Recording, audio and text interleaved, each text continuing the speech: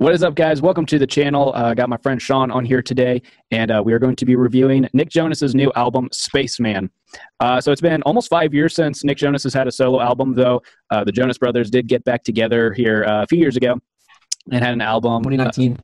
2019 uh, happiness begins and so he's it's not that he hasn't made any music but it's good to hear uh, some new uh, nick solo music that's a little bit of an introduction to it uh, he was pretty quiet during the making of the album but uh, lyrically uh, a lot of it has to do with um, him meeting his wife and then all the stuff going on in like covid and just some of the emotional turmoil that comes along with that. So uh, be, before we go into a track by track uh, analysis, Sean, anything else you want to add? I remember seeing stuff on Instagram of like the spaceman stuff, and I thought it was a show originally because the, it was kind of a strange title and just a strange thing for an album, so I didn't right. expect it. So I figured it was it was a show, and then when he actually released the single Spaceman, I like flipped out. I was like, "Oh shit, he's making he's making a solo album again," and I like freaked out and got super excited. And this was only like two weeks before the album came out, and so I listened to Spaceman and I loved it. I mean, I I wasn't expecting it to be bad, but yeah, I loved it and I just it just got me really excited. Well, yeah, I guess uh, leading up to that, so Spaceman came out uh, just a, a couple weeks before the the album it's named after. Not much preparation for it, but uh, what were your initial uh, feelings from that song? Because uh, I know for me, like his last solo album was uh, one of my favorite albums of 2016 and uh, the most recent Jonas Brothers album was one of my favorite albums from that year. Uh, so, what were your thoughts after hearing Spaceman? Honestly, yeah, like after hearing it, I was like, oh man, that's really very cool, very catchy, very cool concept. It also just kind of got me thinking about how space has kind of been big with a lot of artists, like with Kid Cudi and Travis Scott, like because they released like especially in the 2010s with like Man on the Moon and Astroworld. It's just been space has been kind of a big thing in music. Yeah, I know you, I know you don't like them, but Starset. I'm gonna pretend I don't know who that is. So yeah, my big concern with uh, the song Spaceman was uh, well, first of all, I really liked it. I thought it was nice and moody. I liked the flow. Uh, the chord progression is really simple, but it's it's cool. Uh, I like all the major seventh chords and stuff. Like um, pop songs, chord yeah, progression's really simple. Yeah, really simple but really cool. Um, but I am not a fan of people writing songs about COVID because eventually the stuff is going to go away and things will eventually go back to normal. And then it's like, are we going to be able to go back and listen to this music again?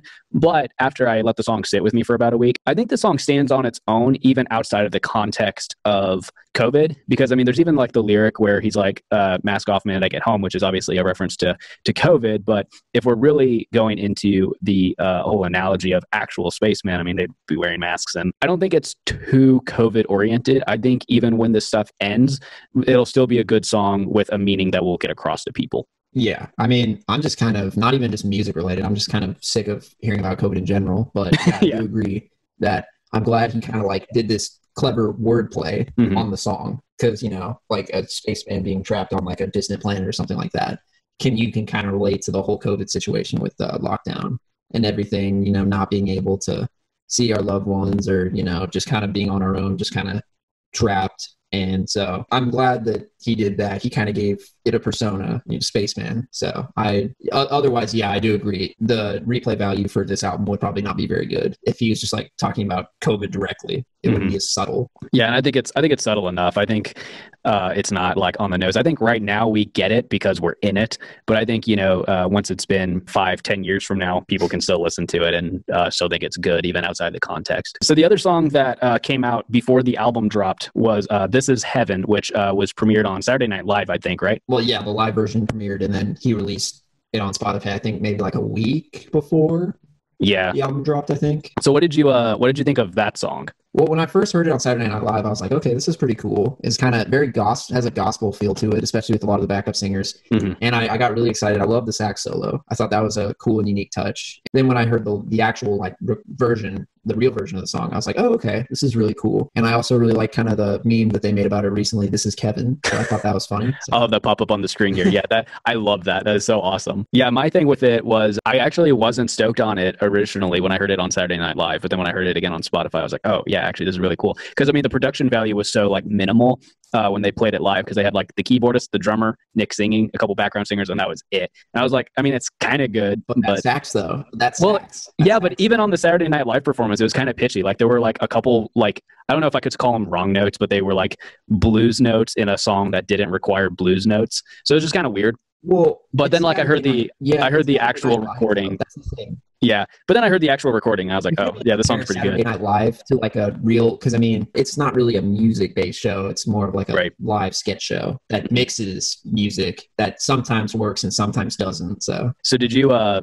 watch all the skits that Nick was in? No, I don't think I did. I, I, I don't think I watched all of them. None of them were very good. You don't need to watch them. I mean, the mon- I watched the monologue with Kevin. I thought that was kind of funny. Yeah, that was pretty funny. Yeah. Are Are we good? Because uh, I see you're doing a lot of solo stuff. are, are we still a band? Of course. Are, are you sure? Because like, I just bought a house we talked a little bit about Spaceman and This Is Heaven. So when we do the track by track review here, uh, we'll we'll just kind of skim over them very quickly. We won't go as in depth as yeah. uh, some of these other songs. Uh, but let's go ahead and uh, start it off. Track one is uh, "Don't Give Up on Us." My initial thoughts on it is uh, it's a really good way to set the mood. It is one of the more upbeat songs on the album, but the whole album itself is almost lo-fi, like not a lot of really hard hitting stuff. Really simple arrangements, really simple instrumentation, lots of reverb.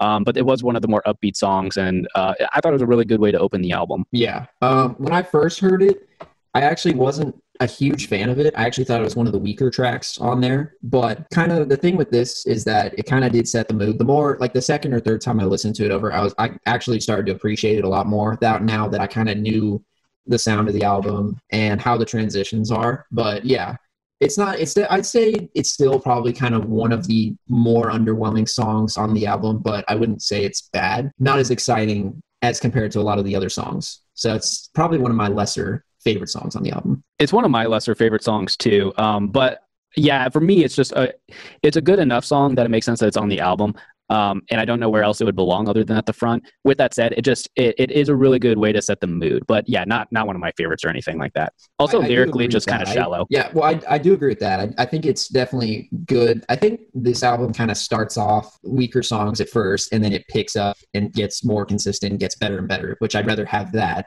than you know have all the best stuff in the beginning and then it just tarnishes at the end. I don't think any songs on here bad actually if we're being honest. There's not a single song i was like oh that was ass. What did i just listen to? Right. So track two is heights uh, and it's a, again not one of my favorite songs. It is one of the weaker songs on the album and i think i like the chill version of it better which is on like the deluxe edition. But i think the production on it's really cool. I think that chorus is really neat uh, and, and honestly especially in pop music that's what's going to make or break a song is whether or not the chorus is good. So uh, yeah, yes, do you have any thoughts on that, that one? Is, that is 100% facts. I think my favorite thing actually about this song is the transition at the end with, you know, the kind of, I like, I love the sounds in this album. Like, I love how they made it sound very spaceman like. It, it just, it almost sounds nostalgic in a way. It sounds like an 80s sci fi movie, and I love that. So, but yeah, yeah, I do really like the chorus on this song. I love the rhythm, and I like it's it's a lot very unique compared to a lot of the other songs. I actually do enjoy the song quite a bit, and the more I listen to it, the more I like of it. So that happened several times on this album where it uh, has that cool transition, and a lot of cool stuff that made that happen is on a lot of pop albums. It's like uh, a song here and there that are written at completely different times by different people in different studios with different producers. And I'm pretty sure with this album, I didn't fact check myself, so don't take this as gospel, but I'm pretty sure they worked with like the same three or four people to make this album all roughly at the same time. Um, so not only did that allow us for to get a consistent sound, uh, you know, with the analog synths and the lots of reverb that sound great, um, and a lot of consistency in the the vocal takes and um, the the mixes and all that, which is just nice on a consistent basis because uh, you don't get that a lot in pop records. Something else that makes it different is with those transitions, uh, it almost turns it into a concept album almost as far as just it's an album that makes sense to listen to from beginning to end.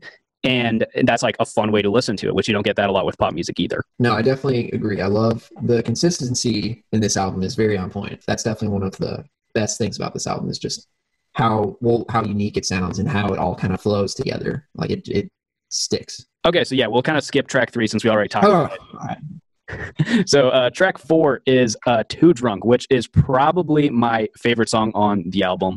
Uh, production top notch, chorus awesome sounding, man. And this is like uh, another one of those songs where it's like the chord progression is so freaking simple, but so cool because it goes like I think goes from like the F sharp to the uh, add seven, and then like just that little bit of dissonance in there. Adds so much contrast and growth to the song. Um, the lyrics are cool and something that's relatable too, because especially during lockdown, you know, it, not that it's a healthy coping me- mechanism, but it is one that like people are, you know, drinking by themselves because they can't go out with their friends and they, you got to cope and you got to deal with it somehow. I mean, hey, look at look at me, you know, like, but probably my favorite song on the album actually. When I heard the chorus for the song, when he gave like a snippet on Instagram, because there was like a filter for this song for a little bit, like a couple days before the album came out, and I heard it, I was like, oh man, like I, I got very excited. T- just the title kind of caught my attention, and yeah, and it is a great song, and it is probably going to be the fan favorite from what I've been hearing, and it is also very relatable you know, it's a fun song. It's a fun song that you can vibe to, but it's also very relatable because I think a lot of us turned into alcoholics when lockdown happened. Yeah, it's just a really, really fun song, and it's definitely a song that I'll probably be jamming to a lot in this, this summer. Yeah, it's going. It's going on the summer playlist for sure. My, yeah, if if not, it's it's either my favorite or it's tied for my favorite. But it's really it's definitely one of the highlights of the album. Yeah, so uh, Sean and I are actually going to be doing a cover of this song that will probably, hopefully, come out sometime next week, middle of the week, end of the week, something like that. Uh, so if you're new, make sure to subscribe so you see that when it comes out. Hopefully, it won't end up like the 22 yeah. uh, so track five is "Delicious." Um, this is actually one of the songs that I'm just kind of like about. Uh, like I like the horn section in it, but that's like about it. It just didn't do much for me. But I don't know if you had a, a different take yeah. on it or something else to give on it. Yeah, when I first heard it, I was just kind of like, okay, you know, not bad, not great. And then I heard it again, listened to it a little more. I was like, okay, it's actually a bit more fun than I remember. The thing with me is whether it's a song, an album, I have to listen to it at least a couple of times until I can actually have an opinion on it. I can't just say anything from the first hearing. The more I listen to it, the again, the more I appreciated it. It's a really simple song, and it's it, I do like the horn section and it is kind of catchy, and I also just kind of like the vibe to it. But yeah, it's. I mean, I if it it's my if it came on at a party or a club or something, I would dance to it, you know. But I think of all the other songs on this album, it'll be one that like I don't go out of my way to listen to, you know. Yeah, it's. I mean, but also with Too Drunk being the song, and then it translated into that, you're kind of just on such a high from that song, and then you hear this song, like, okay, this isn't as good, but you know. That's true. That definitely could be part of it. If it was placed behind another song, I feel might appreciate it more. Maybe, maybe not. I don't know. I don't. I, I, would say it's definitely not the, my least favorite song, but it's not my favorite song. It's just kind of like a song that you know when it comes on, I'll enjoy it, but you know I'm not gonna I'm not like crazy about it or anything. Yeah, and on your note where you were saying you have to listen to something a few times before you really have an opinion, that's why my album reviews come out like a week after the album comes out instead of like that day or the day after. It's because like people shouldn't be trusting their gut instincts like that. You know, like you should listen to it a couple times and yeah. translate for what it really is. I don't think anybody should judge something from the first viewing. That doesn't make any sense at all. Like I don't I don't know how somebody can comprehend all of the possibilities and all of the art from and just all the just the meaning from one album, from one hearing. It's like, I, I, don't know. That doesn't make any sense to me. It doesn't make any sense to me. I mean, I probably get way less views on my album reviews because I come out a week later instead of like that same week, but I don't care. I feel like my reviews are more honest. yeah. Um, I mean, that's all that matters at the end of the day. Yeah, exactly. Uh, so track six is This Is Heaven, which we already talked on. So we'll kind of move on from that. Uh, track seven is Sexual. Uh, do you want to start off with this one? Yeah. yeah. I just I love the progression of the song. I love the lyrics. I love just how much of a vibe it is, and I, I feel like there's a little bit of R&B in, influenced in there. And I love the lyrics. I love the Marvin Gaye uh, shout out. I thought that was really cool. And I also really love the piano. I love when whether it's I, I love. I mean, I just love the sound of piano. I think we all love the sound of piano. So I love the little, just the little tidbits, just little touches like that. And well, yeah, I mean that's because yeah, piano just, is in literally every genre, you know. So it's just exactly. I, I think everybody yeah. loves the sound of a piano, so it's like it's in everything. It's unavoidable. So we've just embraced it. Hip hop has embraced it. You know, lots of genres have embraced it. So, like I said, it's probably either tied for or it's my second favorite. But okay, so that was a question I wanted to ask you when we were talking about Too Drunk. Is like, what was the song that was kind of tied for? Is it this one? Yeah, no, definitely. This is definitely one of the highlights for me on the album because it's just such a it's just such a vibe. It's just such a fun, chill. You could like it's one of those songs that you could either get totally lit to or you can just vibe to, and I love yeah. that. I love songs that you know. Yeah, I have a I have a playlist that it's it's specifically for when I'm driving at night in the rain, and it went on there because like that is just such a mood and it's such a vibe. And honestly, like it's uh I think it's one of the the best produced and best mixed songs on the album. I mean, the whole thing's like pretty good. Some songs I feel like it's a little too heavy on the reverb, but that's just my personal taste. It's not like anything against the production. I do think the the lyrics are kind of actually like hella cheesy on this song. like th- there's a line that's okay, yeah, but almost every song that is about whether it's about sex or love or anything, there's a little bit of cheese in there. I yeah. have this conversation with my guitarist all the time because when I make a li- when I make like a love song or I'm writing a song that's about a certain somebody, it's gonna end up being cheesy. That's just the end of the day. And I mean, people still sing it, and I mean, fuck it, who gives a shit? Like you know. Yeah, and that's very true. And once I get over that, because I mean, I there are other songs that I do like that are either about love or sex or whatever, and yeah, they're definitely like cheesy songs. But at the end of the day, a good song's a good song because, like, yeah, like I said, the production and the arrangement's really good, and um, I yeah, it's a good vibe. The whole album you could just kind of vibe to, but I think that song takes it up a notch. So track eight is Deeper Love. This is a really cool song. Uh, I think it uh, lyrically, it's one of the better songs on the album. Uh, I think it hits a little harder than some of the other songs on the album. Uh, as far as just uh, more emotional movement, because uh, a lot of the the songs here they stay in more of a low territory, like I mentioned earlier, like almost like a lo-fi vibe in a lot of ways, and the song kind of goes a little bit above and beyond that. Yeah, uh, actually, when I first heard it, I was not a fan. It might actually, it might have been my least favorite song on the. Oh, album, really? Actually. That or the first track. But I, again, when I listened to it more and more, I was like, okay, it sounds better than I remember. I'm starting to like it more. I think the only main issue I have with this song, it just sounds so similar to "This Is Heaven," in my opinion. But now that I've listened to it a little bit more, I I definitely appreciate it more, but it's I wouldn't put it in my top three songs. yeah. Well, okay. So here's a question for you. Since it sounds so similar to "This Is Heaven," if this song came out before "This Is Heaven," would you have liked it more? Probably. If we're being honest, probably. Yeah, because I do agree that they sound similar. So I wonder if that has something to do with it. But I, I just think about like the arrangement and stuff like that and the lyrics. And I, I do think it has the upper hand on This Is Heaven. I don't know. That sax solo steals it for me. It's good. A song could be like kind of shit for most of it, but if there's a sax solo, that's it, automatically it good. Yeah. I wouldn't say it's automatically good, but it definitely has it has value at that point. Like if you put an Imagine Dragon song, but you add some sax to it, I mean, it'll automatically. It's still bad, but it's automatically better. So. so track nine is "If I Fall," Uh, and this is another one that I like mostly just for the lyrics being a little more deep. And that's just something that's kind of across the board on this album is um, uh, my main beef with uh, pop music and why I'm really picky about it is just because a lot of the lyrics are really shallow. But there are some songs on this album that, uh, you know, have more depth. And I like this one because it's about, you know, it's like if, if I fall in love with you, you're the kind of person that it's the last time I'm going to have to fall in love. That's the person I want to spend my life with. And I mean, look at, look at the guy. I mean, he's happily married. And like, if you had asked me five years ago if Nick Jonas was ever going to settle down, I don't know if I would have said yes. I, I, really, really like this song. I love the sample of like that's played throughout the song, the the beat, like the sample, the beat, and so that that alone, once I heard that, I was like, oh, okay, I like this a lot. And then it got better and better and better. Yeah, this was definitely one of the standout tracks for me. And I also, I agree, I do really like the lyrics and. I also like the bridge for the song a lot too. I can't really, yeah. There's nothing really. Not much else to add, yeah.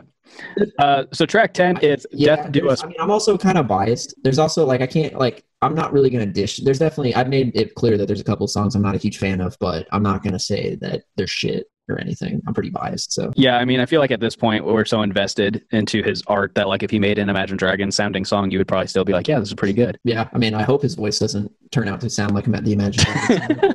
yeah, that'd be a nightmare. Nick's definitely a better singer. So track ten is "Death Do Us Part," and I gotta tell you, man, this song I was I was vibing. I was like, ooh, feeling some soul, and and then it just ends out of nowhere. Like I hate the end of this song. Like it was like ramping up. it was ramping up to be like my favorite or one of my favorite songs yeah. on the album, and then it just ends yeah. like in the middle of the second chorus, and I'm like, why the hell did you do that to me? It was confusing. Yeah. Was- but I mean, gosh, the the vocal uh, harmonies and stuff in the uh, chorus, especially, really the whole song, but the chorus especially, man, that is just it's such a cool such a cool tune. It de- it's definitely has some influence, some R and B influence, because for like when he's when it gets to um like about 20 seconds in the song, it almost sounds like a Weeknd song, like just the way he's singing and the way he's kind of placing the lyrics. And I was like, whoa, this is different. Like I don't, it's completely different from any song on the album. Yeah, and it's yeah, it's kind of dark. really cool.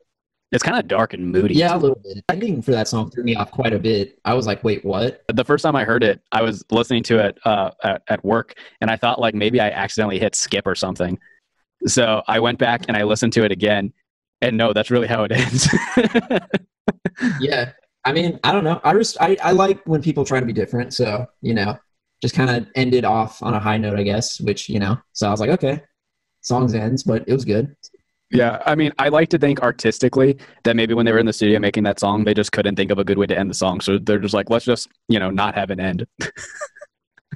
Exactly. So I expect that. I mean, anybody trying to be different, trying to do something out of the box, totally, I'm all for it. Track 11 is Nervous. And actually, this song probably is going to hit my uh, top three. I really like it. The uh, the Rhodes sound uh, in the post chorus, the dun, dun, dun, oh man, it sounds so nice. Oh yeah, that is. Um, it, it, sounds like the Wii theme. It sounds like the Wii Shop theme. Yeah, yeah, it does. Like, wow, this sounds familiar. Yeah, but also uh, you know, kind of going back to like the cheesiness of it. But I think this song's a little bit more of a um, it's like giddy you know when you like someone so much and you get like a fun giddy like you kind of see you know you seem stupid you know? Like that's kind of yeah. what this and that's the point like that's what the lyrics are about. But like also just musically it sounds giddy you know? Like i said with that Rhodes sound that's like in the end of the chorus in the description of this video you can find a link to my top 10 of the week on on spotify. And uh, i've been listening to the song a lot. Well it's it's definitely not one of my favorites but it again when i first heard it it's kind of back to what you were saying about sexual how it is kind of cheesy that's how i felt about this song mm-hmm. like, okay yeah this is it is cheesy. yeah and i wasn't a huge fan of the chorus for the song but again that was my first first listening which is completely different from how i feel about it now so i, I definitely appreciate it a lot more and i actually do i mean the, the lyrics are pr- pretty relatable and i mean again, it is. I do kind of like the little Wii Shop theme, uh, kind of at the beginning. So it's probably not going to make my top three or anything, mm-hmm. but it is a. I, I like it. I like the lyrics, and it's a lot better than how I originally felt about it. It's definitely a good closing song. I'm glad that it's last. It, it definitely. I think that's was a smart move. And then there's the the the two deluxe edition songs, uh, "Selfish," which features uh, the Jonas Brothers, uh, and then we have uh, "Dangerous." I won't have a lot to say about Dangerous because I think I've only listened to it once. And from that listening, I don't remember a whole lot about it. Yeah, I was going to say Selfish is really good. Uh, I, I do genuinely enjoy that song. Uh, Dangerous is fine. Uh, it, it's just, yeah, in comparison to like literally the rest of the album, it's just like, eh, yeah, it's a decent, decently written pop song. So I would definitely say between the two of them, Selfish is better. Without a doubt, I am glad that they are the deluxe edition songs uh, because I actually don't think they really fit the vibe of the rest of the album. Like they're good songs that are yeah, made well. That, that's literally what I was about to say. That's yeah. yeah. I'm glad that it's on the deluxe because Selfish does not fit with the album at all, which is fine, but because it's a deluxe edition. But as a song, like you know, let's say they released it, it's great. I love it. So yeah, I mean, it definitely does not fit the it does not fit the album at all. Not at all. Yeah, I mean, I I have the uh, the version from Target that has the two extra chill versions. Uh, but honestly, if there is a deluxe edition with Selfish and Dangerous, I'm not going to get it because my favorite way to listen to music is from beginning of the album to the end of the album, and I just I like those songs, but they they do not do justice to the vibe that the entire rest of the album has dedicated itself to selling to you. No, I'm still gonna buy it. I mean, yeah, I agree it doesn't fit, but I'm still gonna buy it. I didn't notice this until I was just looking here on Spotify, but the the chill versions that are on the deluxe edition on uh, Spotify are different than the chill versions that are on the the Target version. Uh, so I don't know if you've taken the time to listen to all five of them. I won't really spend any time talking about them, other than that they're just kind of cool alternate versions. But do you think any of them are better than the originals? No, not really. I mean, part of the reason is just because I'm not, a, well, I like acoustic songs, but especially now that I actually play and it, they're good for practicing and they're good to getting better to know the song. But like for just pure listening sake, not really. I'm not a huge acoustic fan, but I mean, they're cool. It's a nice addition. I don't know. I actually kind of like, um, the chill version of Don't Give Up on Us and Heights better than the originals. But I do also think that they're not really acoustic versions. They're just kind of more kind of advertised as as chill versions. Like the there's like next to no percussion and there's uh, more guitar driving elements and stuff like that. But they're not really acoustic versions. I think they're a little too produced sounding to be. Uh, I just acoustic, use the term but... acoustic whenever I'm talking about stuff like that, mm-hmm. just because chill version just sounds a little sounds kind of weird. Also, it just sounds like it could mean anything. So it could be a jazz theme for all we know. Yeah, jazz version of those songs. So. Yeah, it's uh, this is heaven as uh, elevator music. That could be lit, possibly. Uh, maybe. uh, so yeah, let's uh, real quick. Uh, what would you say your top three are? I think I'm going to go ahead and say my third favorite is the title track, Spaceman. Uh, I I really like it for a lot of the reasons that it's just relatable uh, and it's it's transparent and it's honest and it's honest. Uh, but also it's just it's freaking cool, man. And it's vibey and it's moody. The the problem with me is, is that like there's definitely more than just three songs that I like. So oh well, I I mean I I basically like the whole thing, but if I had to pick well, yeah, favorites, the best like the songs I'm gonna listen to the most, I can tell you. But yeah, like I want to say it's Spaceman, but I want to do an honorable mention to If I Fall because I, I, do really enjoy that song, and I've gone back and listened to that song quite a bit. So mm-hmm. yeah, so yeah, I'd probably put Spaceman at three just because it it just fits. It's just so damn catchy. Like that's that's a big thing. So I think my second favorite song is uh, "Nervous." Uh, like I said, I just I really like the the giddiness of it, and uh, I think it's a fun way to end a relatively serious album. And I really like the the Rhodes sound on it and all that. But yeah, I, would, I think I would say "Nervous" is my second favorite. Yeah, the second favorite it's probably going to be "Sexual" because I mean we we pretty much all know what our number ones are, but the only reason that I would put this above the number one is because the, the I think the only not necessarily bad thing. The only kind of gripe I have with the actual song itself is in the chorus. You can kind it's kind of hard to hear the lyrics uh, because it's just so produced and it's just kind of so subtle. But at the same time, I also really like it for that reason. But I also kind of like to know what I'm, you know, what the person is singing. So right. that's like the only gripe I have with that song. But other than that, it's a, it's a great song. So yeah. So are we in agreement then that Too Drunk is our favorite song? Yeah. I mean, I think it was pretty obvious because we pretty much praised the shit out of that song like the minute we Yeah, that's because it, it's so. fucking awesome. Yeah. and I mean like it's just so relatable and the chorus is just so catchy. And I feel like I feel like that's the song that I'm going to show almost everybody whenever I play it, whenever I start this album because it's just a, it's a song that you would expect to hear at like a bar, at a club, or a house party. And I feel like that's going to be the song that's probably going to be probably going to hit the Billboard. That's my prediction. That that or Spaceman is going to be in the Billboard. Or I'd believe that because I, I believe that uh, just because like I, I uh, even saw that like Spaceman's his number one song on Spotify right now. Uh, like not as far as like total number of plays, but as far as just what's popular right now. Um, so I could I could see Spaceman hitting well on Billboard. But yeah, from what I've also seen on social media so far is that Too Drunk is uh, is going to be a fan favorite. Yeah, so again, make sure you're uh, subscribed so that you see uh, Sean and I's cover of this when it comes out sometime next week, hopefully. Hopefully Morgan doesn't screw it up. Yeah, yeah, I'll just pull out, I'll just pull out the uh, I'll just pull out the eight string guitar and djent on it the whole time and completely ruin it. I'm too drunk. Yeah, voice and everything. That would be awesome. Just a metal version of a song about just getting drunk by yourself. That just sounds so awful. That, sounds, sounds awesome. So fucking awful. I like to end my album reviews with giving it a letter grade. I'm going to go ahead and uh, give it an A. I'll just give it a solid A.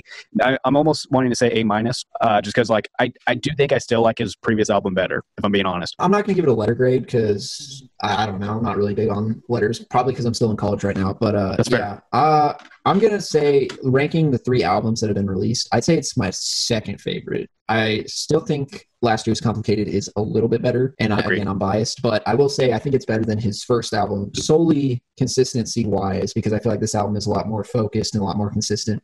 And his first album is you know kind of he was still trying to figure out his sound. It's a little so uh, discombobulated. Like it's got a lot of good songs but it's a little messy. Yeah exactly. It has some great songs but you know it's just it doesn't really flow together. And I think again, part of the reason is he was still trying to figure out his sound as a solo artist, which is fine, you know. Yeah, yeah. Well, and I mean, I, I know it's also only you know mid March, so the year is still young. But I mean, it's uh one of my favorite albums that's come out so far this year, and also just like last year, I don't think was great for albums, and so it's just good that 2021 is already off to a really good start for new music. You know. Well, okay, there was one amazing album that came out last year, and that's I think everybody knows which album I'm talking about, but yes, I do agree that overall it was not the best year for music. No, it wasn't. That. Uh, so yeah, uh, thanks for checking out our review, Sean. Thanks for hopping on. Uh, Sean, is there anything you want to plug? Your social medias, your band, anything like that?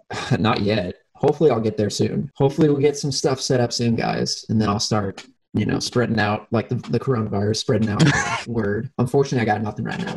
All right, Hopefully, cool. Give me like a week or give me one week and you'll have an album written. Yeah, there you go. No, I'll have at least a channel. So I'll at least have songs. yeah, yeah.